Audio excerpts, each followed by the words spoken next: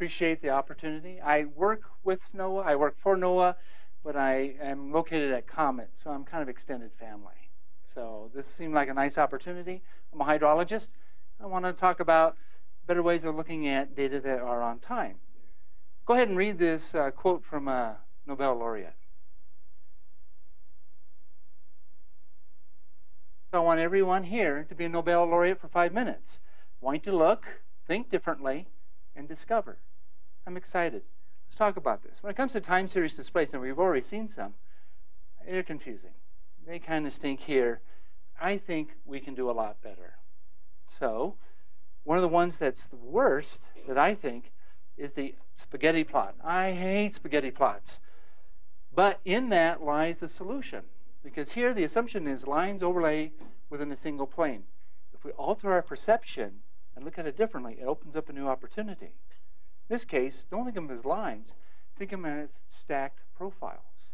By doing so, we have a hidden axis that reveals itself that we can use. So we look at that. We'll take this, let's turn it into a, a uh, wire diagram, and you can see that that hidden axis is the year. So the spaghetti plot sees this mountain range at ground level, let's look at the mountain range from the sky. And that's what we're going to do for these next few slides here.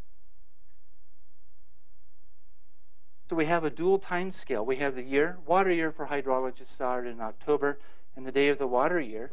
And that's our reference. We can overlay data onto that, and it opens up some possibilities. So I'm going to show you this probably the most important location of a river in the western United States, Lee's Ferry on the Colorado River.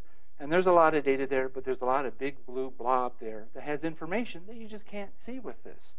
Let's take that same data and remap it into this raster hydrograph. You got the day on the X, you got the Y is the year, and that circle there shows you when they close the diversion tunnels for Glen Canyon Dam, and you can see differences before the dam and after the dam.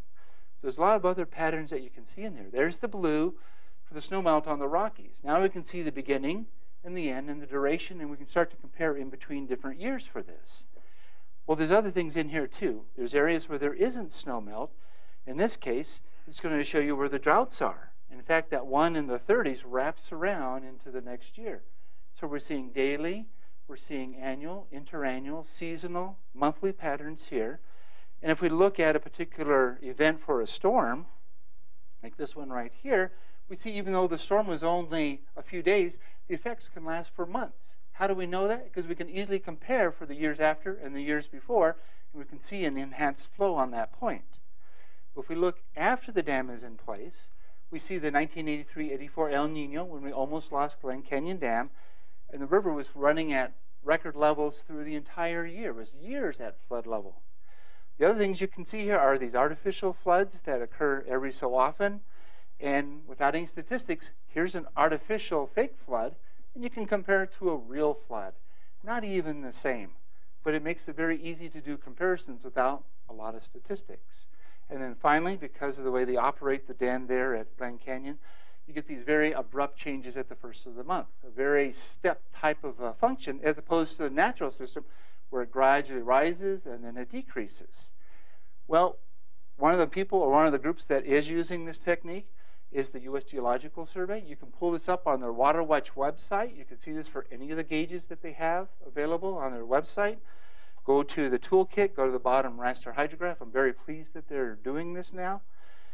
But you don't have to look at water. You can look at fish. Here is salmon swimming up the Columbia past Bonneville Dam. You can look at five years of data with a spaghetti graph, or you can look at 76 years of daily data with a raster graph. You can see all these patterns going on there. There's three different times the salmon go. You got the spring, the summer, and the fall runs, and you can see some changes on that very easily. But the coolest application I've come up with is this last one.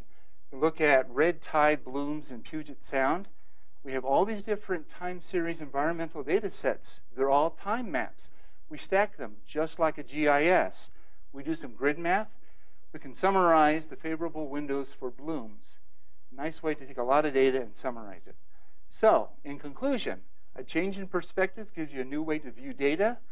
New views of data unlocks information. New information means discoveries. So thank you.